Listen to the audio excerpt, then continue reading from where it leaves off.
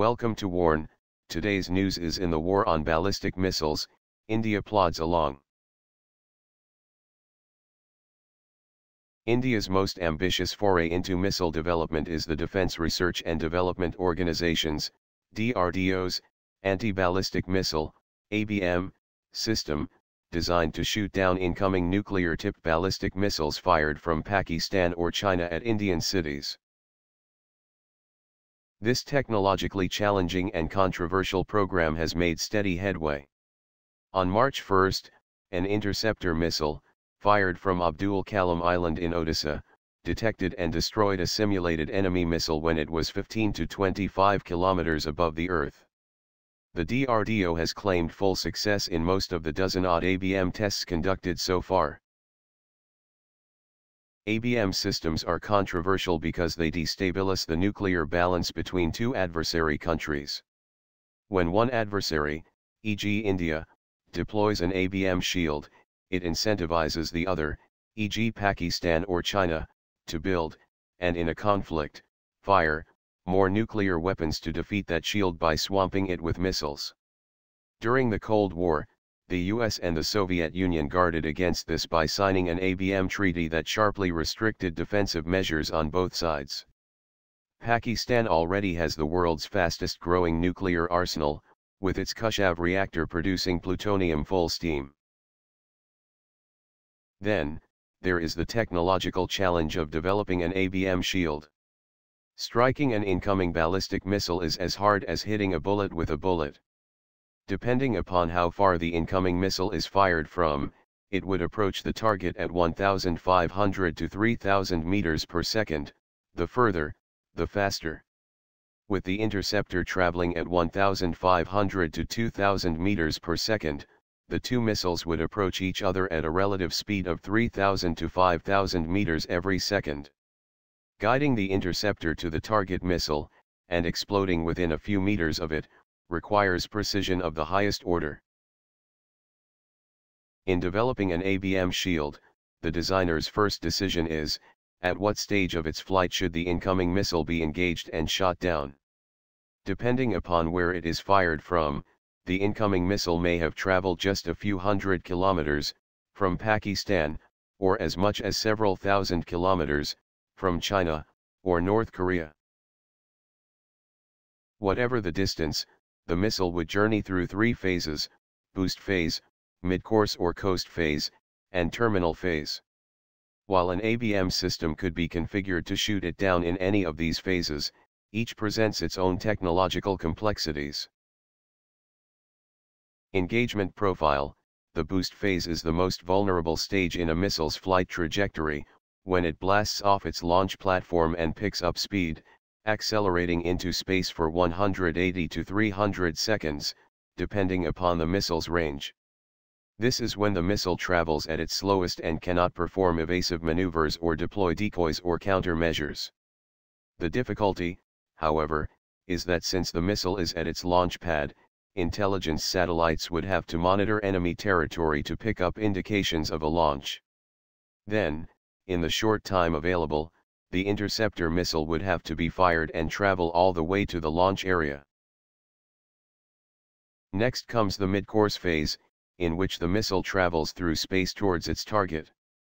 This lasts just seconds for a short-range ballistic missile fired from Pakistan, or as much as 20 minutes for long-range ballistic missiles fired from several thousand kilometers away. Mid-course engagement provides a longer time window for sensing, decision-making and engagement, and a shorter distance for the interceptor to travel.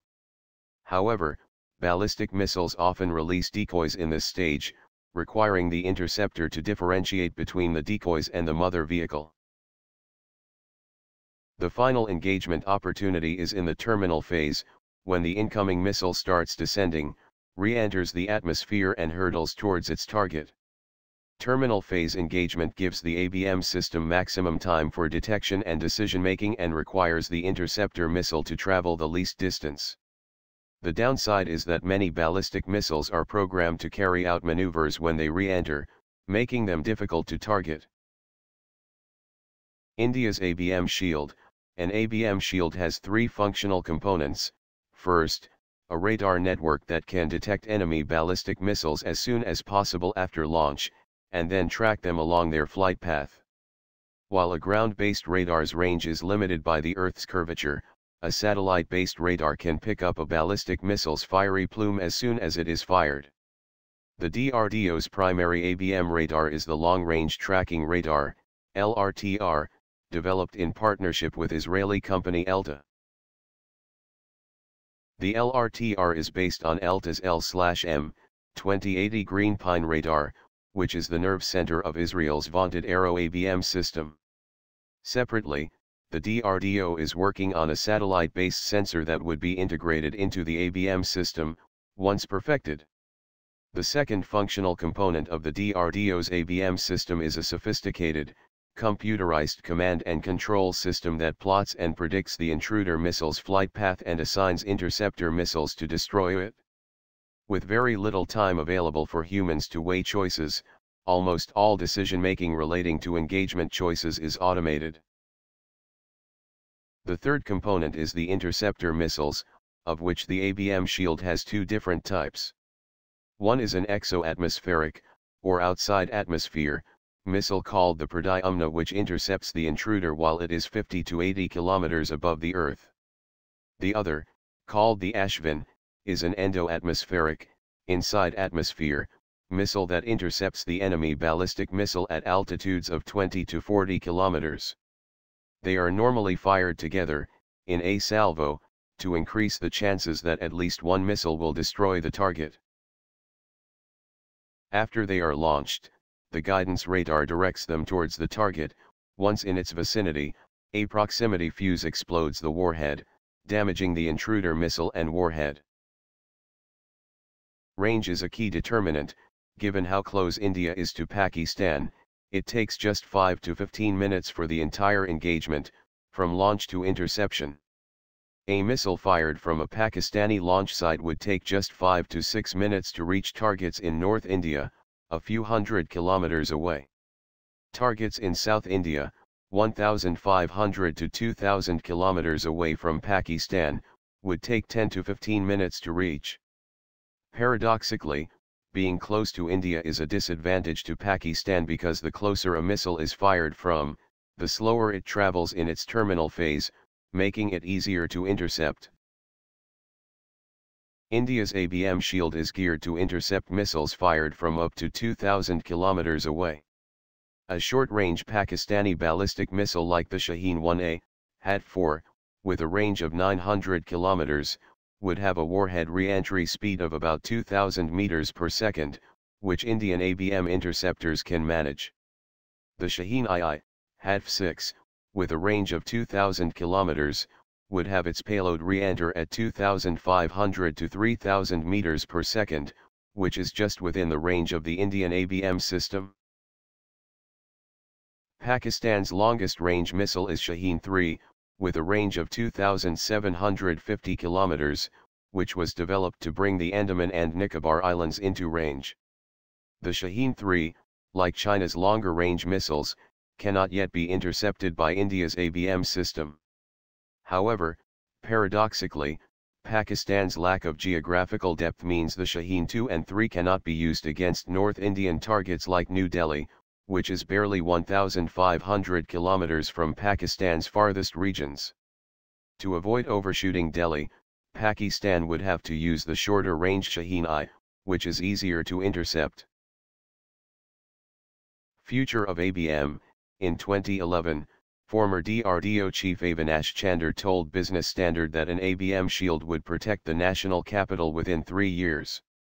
Chander's predecessor, VK Saraswat, had provided even more optimistic timelines, raising concerns worldwide over the erosion of deterrence in South Asia. Since then, the government has issued strict orders to the DRDO not to speak about the system. Currently, the development of the ABM system can only be gauged mainly from reports of interceptor test flights and the move of radars to sensitive locations like New Delhi. Over recent years, two LRTRs were moved to Delhi and integrated into the Indian Air Force National Surveillance Network. Even as the ABM system successfully crosses developmental milestones, analysts warn against excessive optimism and overblown expectations. In most nuclear wargaming in the US, ABM defenses have been overcome relatively easily by expedients as simple as swamping the defenses with missile salvos, or with multiple independently targetable re-entry vehicles, MIRVs, that are essentially several independent warheads fitted onto a single missile. On January 24, Pakistan test-fired its new Ababil ballistic missile, which it claimed was a MIRV system, aimed at ensuring survivability of Pakistan's ballistic missiles in the growing regional ballistic missile defense, BMD, environment.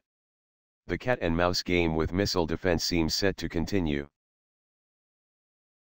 Thanks for watching. I hope you like this video. Please share your views in comment box. Please like and share this video. Press subscribe button and bell for auto update to you regarding my channel world action and reaction news, warn.